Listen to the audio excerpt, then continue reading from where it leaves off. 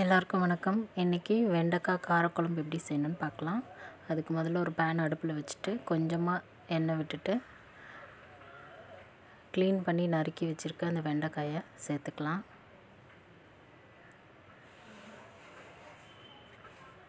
இதை வந்து வறுத்து எடுக்கணும். கொஞ்ச நேரம் நல்லா வறுத்து எடுத்துக்கலாம். இந்த பதத்துக்கு வறுத்தா போதும். இதுக்கப்புறமா வானல் வச்சுட்டு சூடானதுக்கப்புறம் தேவையான அளவு எண்ணெய் ஊற்றிக்கலாம் எண்ணெய் காஞ்சதுக்கப்புறமா கொஞ்சமாக கடுகு.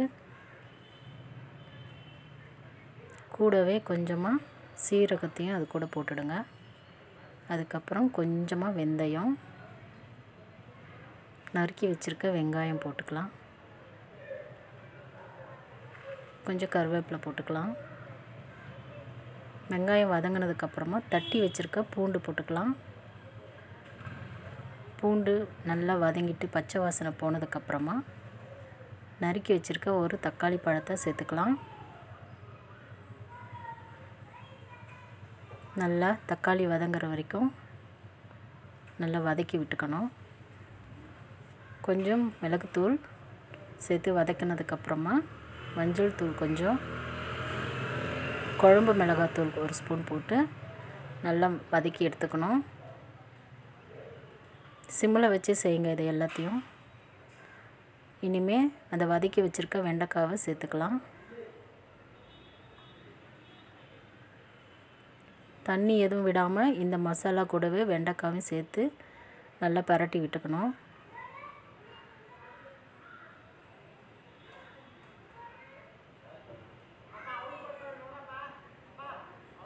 இதை வந்து ரெண்டு நிமிஷம் மூடி வைக்கணும். அதுக்கு முன்னாடி தேவையான அளவுக்கு உப்பு சேர்த்து கிளறி விட்டு ஒரு ரெண்டு நிமிஷம் சிம்மில் வச்சு மூடி வச்சிடணும்.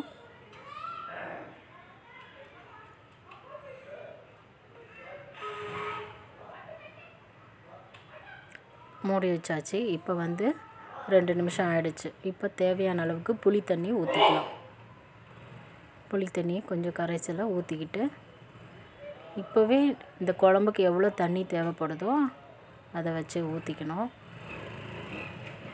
நான் கொஞ்சம் கெட்டியாக தான் வைக்க போகிறேன் அதனால் கொஞ்சமாக ஒரு ரெண்டு டம்ளர் அளவுக்கு தண்ணி ஊற்றிருக்கேன் இன்னும் உங்களுக்கு தண்ணி மாதிரி வேணும் குழம்பு அப்படின்னா இன்னும் கூட கொஞ்சம் ஊற்றிக்கலாம் இப்போ இதுவே இன்னும் ஒரு ரெண்டு நிமிஷத்துக்கு நல்லா கொதிக்க விடணும் மூடி போட்டு.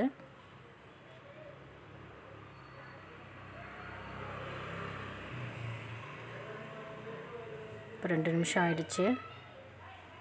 பாருங்கள் சூப்பராக கொதித்து வந்திருக்கு. எண்ணெய் மிதந்து வந்திருக்கு.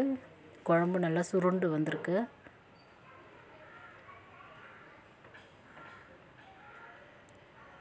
இது கூட கொஞ்சமாக கடைசியாக கொஞ்சம் வெல்லம் சேர்த்து நல்லா கிளறி விட்டு குழம்பு இறக்கிற வேண்டியது தான் வெல்லம் கரைகிற அளவுக்கு நல்லா கலக்கி விடுங்க.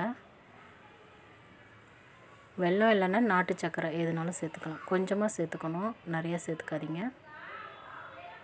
அவ்வளோதான் குழம்பு வந்து வெண்டைக்காய் கார குழம்பு ரெடி ஆகிடுச்சு சூப்பராக இருக்கும். நீங்களும் செஞ்சு பார்த்துட்டு எப்படி இருக்குன்னு சொல்லுங்கள் நன்றி.